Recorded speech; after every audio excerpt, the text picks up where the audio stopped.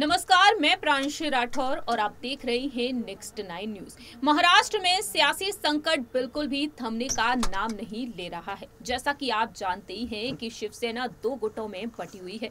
एक तरफ़ है शिवसेना के प्रमुख और पूर्व मुख्यमंत्री उद्धव ठाकरे का गुट और दूसरी ही तरफ़ है मौजूदा मुख्यमंत्री एकनाथ शिंदे।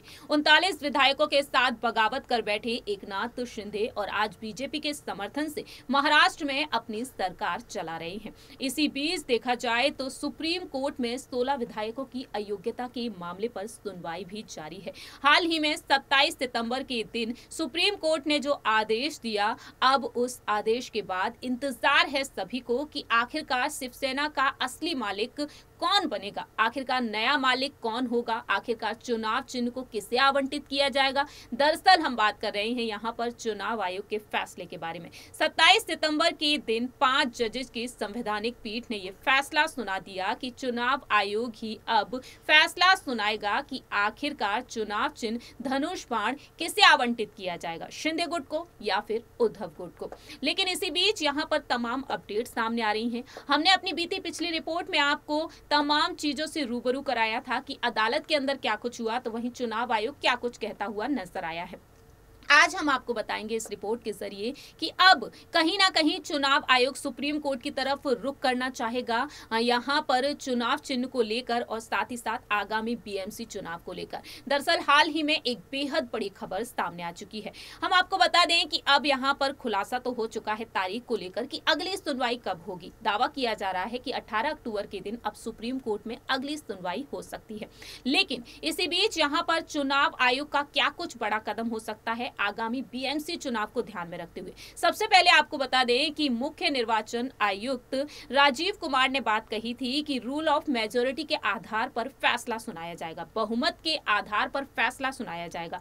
बहुमत यहाँ पर शिंदे गुट के पास ज़्यादा है। वहीं दूसरी ही तरफ़ यहाँ पर उद्धव ठाकरे का गुट काफ़ी ज़्यादा कमज़ोर है। इस हिसाब से देखा जाए तो कहीं ना कहीं शिंदे गुट के समर्थन में फैसला दिख रहा है।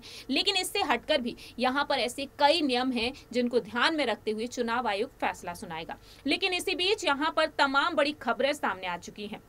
दरअसल आपको बता दें कि अब यहाँ पर तमाम बड़े दावे किए जा रहे हैं। चुनाव आयोग किस तरीके से अब रुख कर सकता है सुप्रीम कोर्ट की तरफ़? दरअसल आपको बता दें कि अब विधानसभा और महानगर पालिका के चुनाव एक साथ कराए जा रहे हैं और इसी बीच राज्य के उच्च व तंत्र शिक्षा मंत्री चंद्रकांत पाटिल ने अपना बयान दिया है। उन्होंने कह दिया है कि राज्य में चुनाव लंबे समय तक प्रलंबित रहेंगे। ये बताने के लिए किसी ज्योतिष की ज़रूरत नहीं है, क्योंकि सुप्रीम कोर्ट का अंतिम फैसला आने तक चुनाव नहीं करवाए जा सकते हैं, ये बात सभी को पता है। उद्धव ठाकरे के बयान पर भी उन्होंने बात कही। उन्होंने यहाँ पर अपनी बात कही कि जिसके तहत यहाँ पर माना जा रहा है कि शायद हाल फ़िलहाल तो महानगर पालिका के चुनाव होने का संकेत नहीं है, लेकिन मनपा के चुनाव लंबे समय तक यूँ ही अधर में लटके रहेंगे। पुणे में उन्होंने पत्रकारों से बातचीत की और कहा कि आगामी 18 अक्टूबर को सुप्रीम कोर्ट में सुनवाई होने वाली है और उस समय सुप्रीम कोर्ट का क्या फैसला आता है ये पता चलेगा। और सुप्रीम कोर्ट का फैसला आने के बाद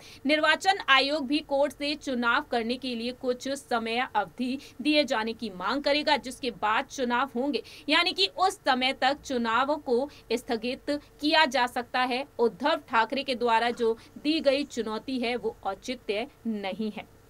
इस तरीके से यहाँ पर अब सियासत तेज होती हुई नज़र आने वाली है। वहीं दूसरी ही तरफ़ आपको बता दें कि शिंदे गुट से मंत्री रहने वाले अब्दुल सत्तार ने स्थानीय चुनाव को लेकर शिंदे गुट के द्वारा अपने दम पर चुनाव लड़ने की बात कही और उन्होंने यहाँ पर कहा कि जब दोनों दलों के बीच सब कुछ ठीक ठाक चल रहा है तो इस तरह के विषय नहीं निकाले जाने चाहिए। राजनीतिक दल को अपना विस्तार करने का अधिकार है। वहीं यहाँ पर शिंदे गुट और उद्धव गुट के बीच इस वक्त जंग छिड़ी हुई है। चुनाव आयोग जल्द ही सुप्रीम कोर्ट से यहाँ पर अब कहीं ना कहीं समय अवधि मांग सकता है आगामी बीएमसी चुनाव को ध्यान में रखते हुए। जैसा कि हमने बीती पिछली रिपोर्ट में आपको बताया कि अगर इस चुनाव चिन्ह को फ्रीज किया जाता है तो कहीं ना कहीं यहाँ पर उद्धव ठाकरे और शिंदे गुट को नया चुनाव चिन्ह दिया जा सकता है। इस तरीके के तमाम दावे किए जा रहे हैं। देखना दिलचस्प होगा कि अगर चुनाव आयोग वाकई में सुप्रीम कोर्ट की तरफ़ रुख करता है, समय अवधि माँगता है तो सुप्रीम कोर्ट का क्या कुछ फैसला होता है, ये अठारह अक्टूबर के दिन ही पता चलेगा। इस रिपोर्ट में इतना ही। बाकी की तमाम अपडेट्स के लिए आप देखते रहिए